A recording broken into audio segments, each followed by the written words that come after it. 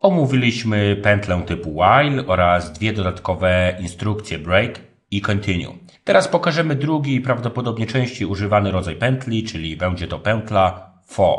Za jej pomocą możemy wyświetlić na przykład zawartość jakiegoś obiektu typu ciąg znaków, lista wartości i tak. Pokażemy kilka prostych przykładów. Na początku może chcielibyśmy wyprowadzić na ekran jakiś ciąg liczb, powiedzmy w zakresie od 1 do 20. Rozpoczniemy właśnie od pętli for. Zauważmy, że nie definiujemy wcześniej żadnej zmiennej, tylko tutaj określimy sobie zmienną, którą nazwiemy x. Będzie ona reprezentowała pojedynczą wartość z tego zakresu.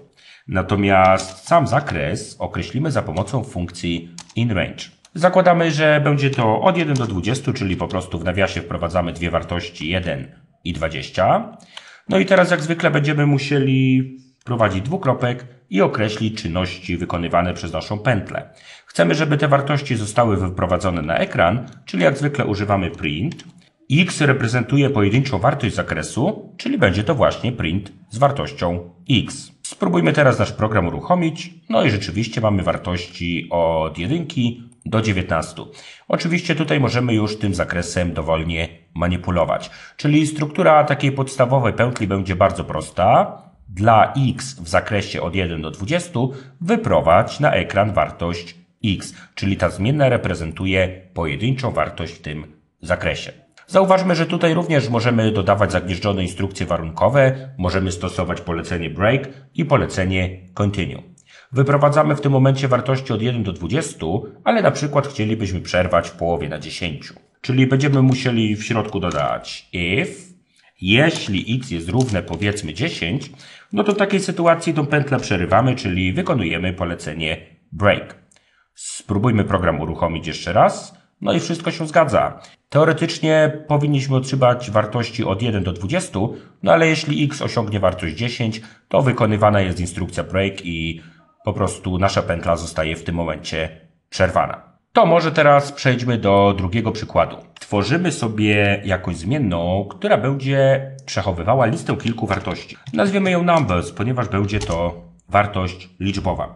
Teraz będziemy musieli te wartości określić, będziemy je oddzielali przecinkami, na przykład 1, 2, 3, 4, 5 i 6. Oczywiście chcielibyśmy je po kolei wyprowadzić na ekran, każda wartość w oddzielnej linii. Użyjemy właśnie pętli for. Przy czym musimy teraz stworzyć zmienną, która będzie reprezentowała pojedynczą wartość na tej liście.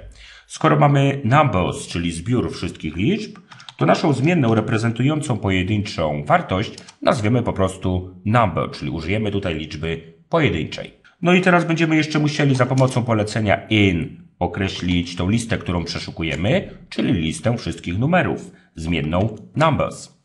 Czyli dla każdej liczby w całym zbiorze liczb wyprowadź wartość zmiennej number na ekran.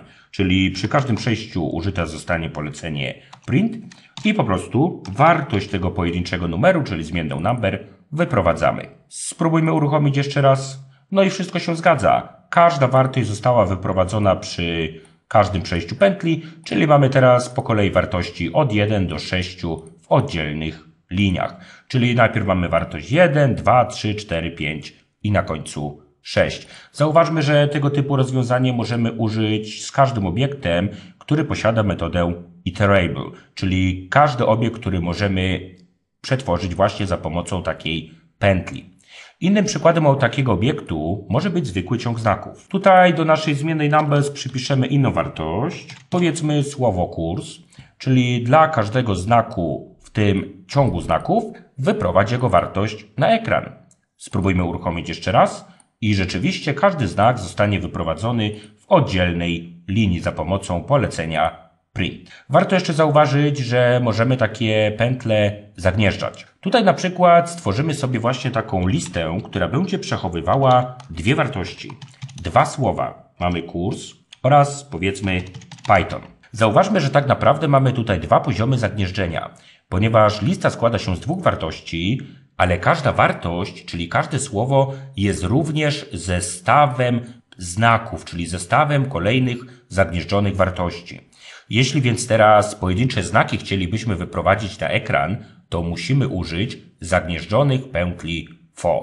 Spójrzmy teraz na przykład. Usuniemy bieżącą pętlę, yy, zmienimy nazwę naszej zmiennej. Teraz będzie to words, czyli będzie ona przechowywała kilka słów. I na początku musimy stworzyć tą zewnętrzną pętlę, która będzie wyprowadzała pojedyncze słowa, czyli for, word, in i potem nazwa zmiennej words, czyli dla każdej wartości, dla każdego ciągu znaków wykonaj kolejną pętlę i dopiero ta wewnętrzna zagnieżdżona pętla będzie na ekran wyprowadzała pojedyncze znaki z tych dwóch słów. Czyli wprowadzamy tutaj dwukropek, przy każdym przejściu wykonujemy kolejną pętlę for.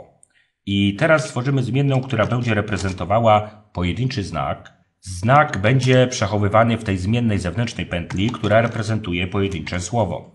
I dopiero teraz te pojedyncze znaki w tej zagnieżdżonej pętli możemy wyprowadzić na ekran. Czyli oczywiście użyjemy tutaj print z wartością zmiennej letter. Spróbujmy więc uruchomić tą pętlę i zauważmy, że wszystko zadziałało prawidłowo. Każdy znak został zwrócony w oddzielnej linii, czyli ta zewnętrzna pętla wyprowadziła te dwa ciągi znaków, dwa słowa i przy każdym przejściu wykonywana jest pętla wewnętrzna, która z pojedynczego słowa wyprowadza na ekran pojedyncze znaki.